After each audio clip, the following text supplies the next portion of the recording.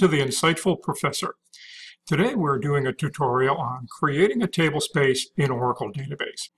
The question obviously that comes up is, what is a table space? Well, a table space is something where we're going to kind of bridge the gap between logical and physical. Now what does that mean?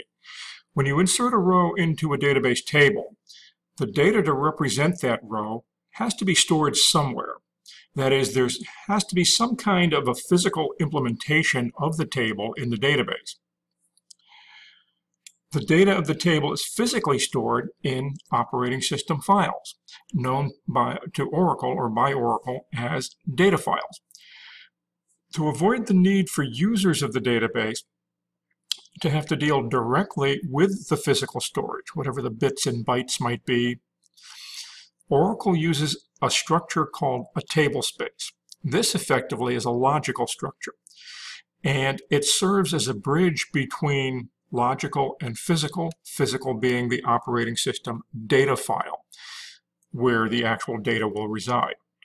Now, tables and indexes are going to be directed to a table space and subsequently will then go into the physical data file associated with the table space. This can be done either explicitly or implicitly. We could actually say create this table and put it in this particular table space. Or each user has associated with them a default table space. So if they simply say create table or create index, the physical storage will be allocated from that default table space for the particular user.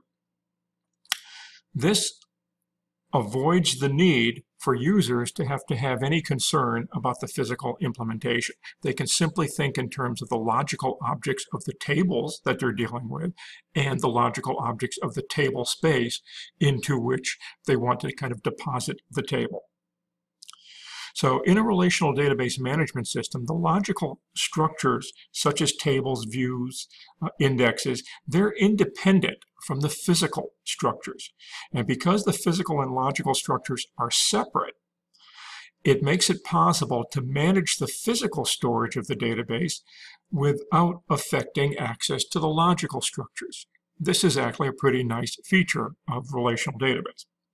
So what you need to understand here is that a table space must exist before you can create a table because you're going to target that table space to receive, at least logically, the, the table that you're creating. So when a database is created, there are some table spaces that are created for us automatically but these are intended for use by the database management system itself. So application data should not be stored in the data files of these table spaces. Therefore, we need to create our own table spaces to hold data for our applications. So a table space is defined or created with a special DDL or data definition language statement, and that's called create table space. Here's the syntax. You might take a, a little look at this and try to get an idea of what's going on. First off, the purpose is to define the logical container, that is the table space, and associated with it physical storage, the actual data file. In order to do this, you just can't walk in off the street and say, hey, I'm going to go, create a table space, but you have to have a special system privilege called create table space. Most application developers are not going to have this even in a, a test or development environment. So when we log in to perform the operation here for our demonstration, we're going to log in as the user system.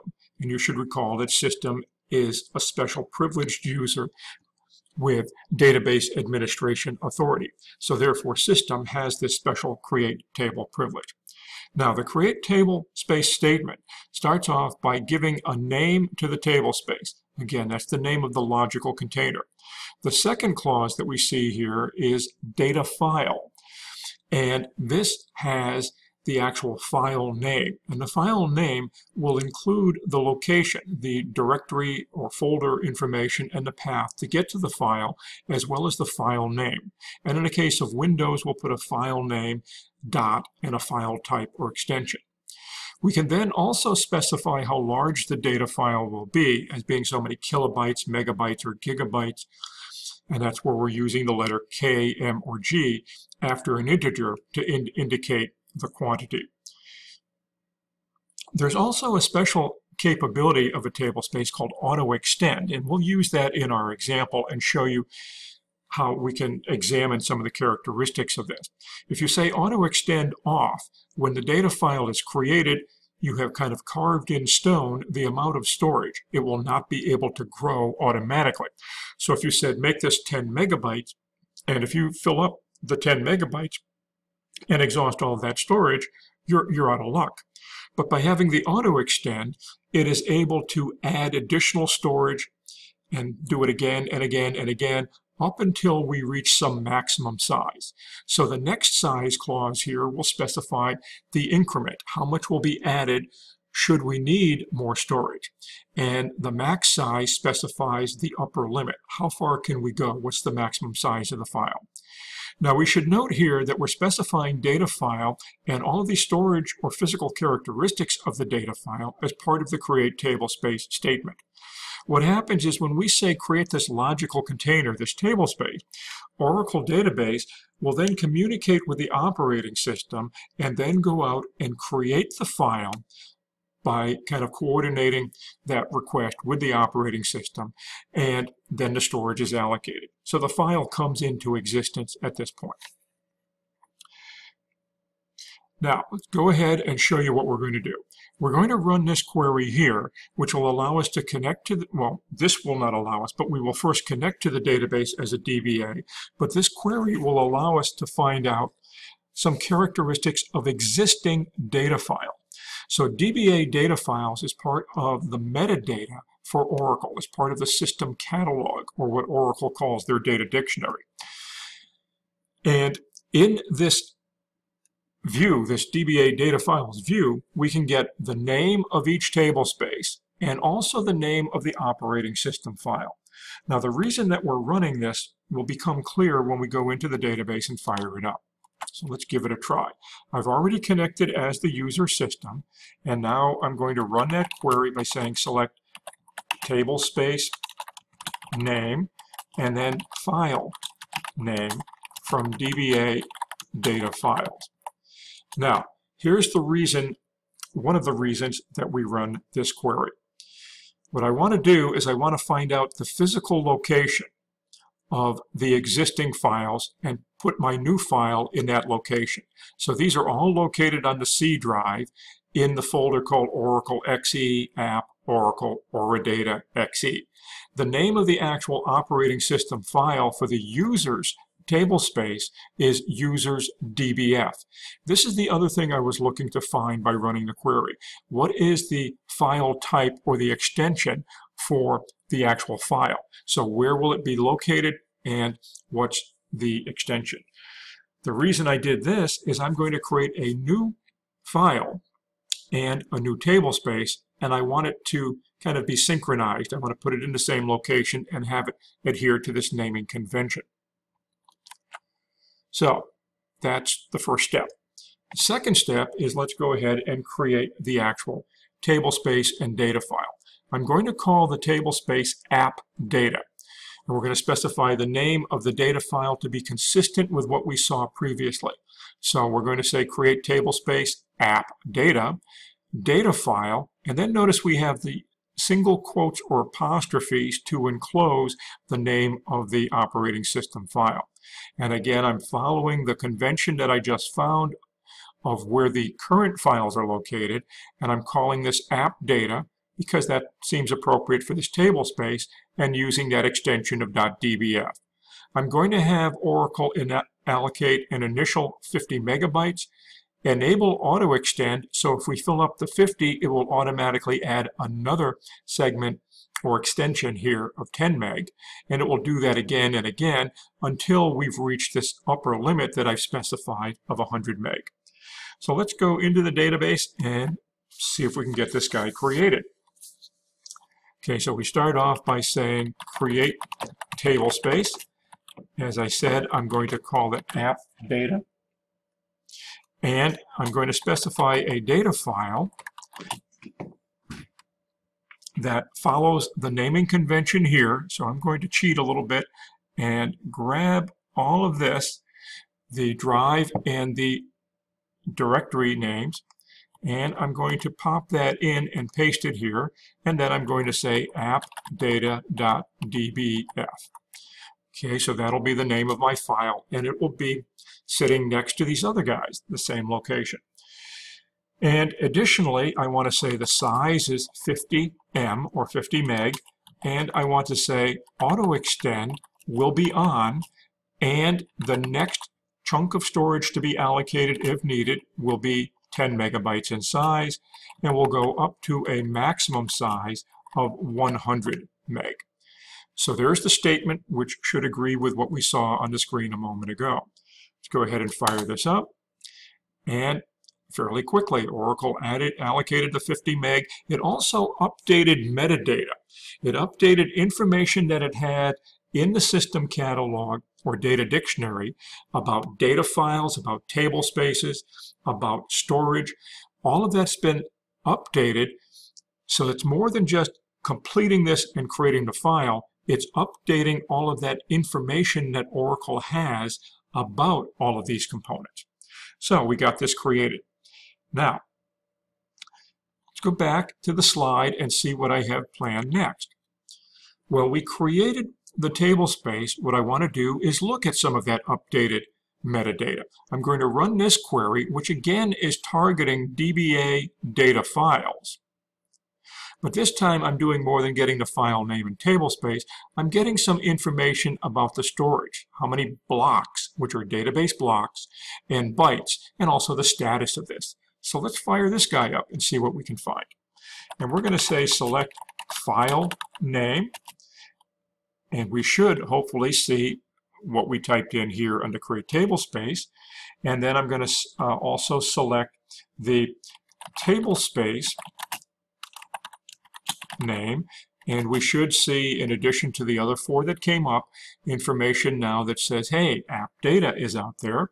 And then we'll also get information about the storage that I said we would get, the number of blocks, the number of bytes, and also the status, whether the table space is currently available and the data file is available. So this is targeting, once again, DB, DBA data files. And when we run it, Previously, we got four rows. We now have five rows. Here is the information about the new table space and data file that we just created. The name of the table space is app data, which is what we had requested. The name of the file is this app data DBF in this location, which is now right next to the other ones, and that's exactly what we had specified. And now, the blocks. There are 6,400 database blocks, and that translates to this many bytes. Now, we had allocated 50 meg, and sure enough, that's what it looks like we have, somewhere in that ballpark. Okay, so 50 megabytes of disk space was allocated. Now, the next thing we want to do is take a peek at something else. Let's look at some additional metadata here. DBA data files contains quite a bit of other stuff. So I'm going to select file name and we'll go with table space name once again. But this time I'm going to verify that the table space's data file is auto, auto extend enabled. So is it auto extensible? So we select this from DBA data files and what we find is, turns out everyone is auto extend uh, enabled. But what we're really concerned with is the app data. And yes, it was set that way. Now, what happened here is kind of curious that because the column contains character data and it's only a maximum of three characters wide, you can see that the column heading is much longer than that. The column heading got truncated. That, that's not a big deal. So anyway, if you're curious why it got cut off there, that's the reason. This particular tool uh, is not the friendliest tool for running queries. It gets the job done. Later on, we'll look at a better tool that's going to be friendlier and easier to work with. Now, one other thing we can do is run another query against uh, DBA data files and we'll get again the file name and table space name, but we'll also check out that increment. This is stored in an increment by column, and we'll check out the max bytes that are permitted. And when we fire this up, again, we'll examine app data. And we see that uh, it will be incremented by 1,280 database blocks. And that will be, as you can see here, a maximum of about 100 meg, which is what we had specified. So at this point, we've created a new table space and associated uh, the data file in the database. So tables and indexes could now be create, uh, created here. Let's go back to the slide and see if we have anything else to offer you. Well, here's the query that I just ran about auto extend. And again, this was just querying the same data dictionary view, but getting some different data out of there, whether it was auto extensible. And likewise for the physical storage, say increments and capacity, the max bytes. So those are the two queries that we just ran. So with that, we pretty much covered uh, everything we wanted to talk about in uh, creating a table space here. So at this point, the table space is ready to be used. And if you'd like to try this on your own system, I'm going to post the SQL statements that I've used here, uh, both the create table space and all of the select statements to query the metadata, in a file named creating a table space on our related website, which is www.timhartley.com. So simply go to the website, locate a link that says Insightful Professor in the menu, and then click on that and you'll see the files that have been posted and are available for you. And what you'll be looking for for this tutorial is creating a table space. So You'll then, after doing this, if you follow all of these steps yourself, want to check out the tutorial on creating a database user to see how we can set the table space that we just created as the default container for that user's tables. I hope you found this video informative and helpful. If you have any questions or comments, just let us know and we'll, we'll respond. And thanks for watching.